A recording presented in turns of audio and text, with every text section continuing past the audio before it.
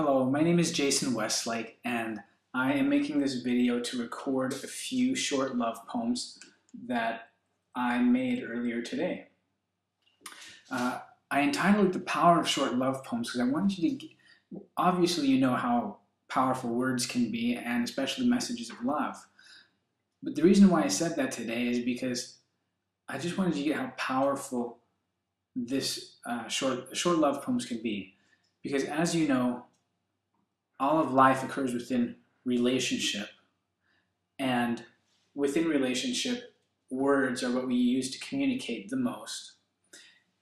And then there are words that uplift and there are words that tear down. And the most powerful uplifting words are words of love. So any romantic messages, any short love poems that you have can be powerful carriers of that love. And without further ado, I will read uh, two love poems that I wrote earlier today. One is called uh, Okay, I Love You. And my wife was uh, actually teasing me a little bit earlier today about how much I say okay when I'm coming back and being present with her, so I had to write a poem about it. So uh, here I go. Whenever I say okay, I snap myself awake and out of the ethers back to this reality so I can be present for you and my heart can be here for you. My distractions dissolved, penetrating you with my love.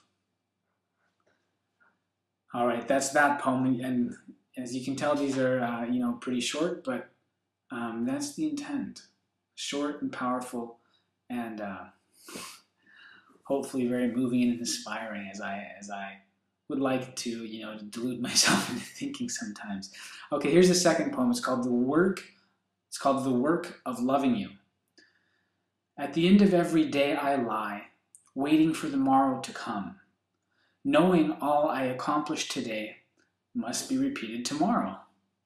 Today I made sure to love you, a short love poem I wrote, and you were happy with me, but tomorrow I must do it again.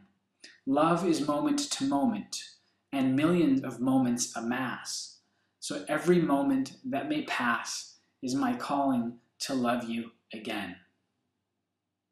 So there are both the love poems that I wrote.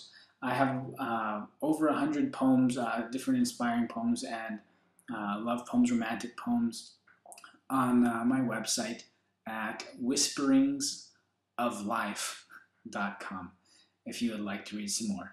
Thank you so much.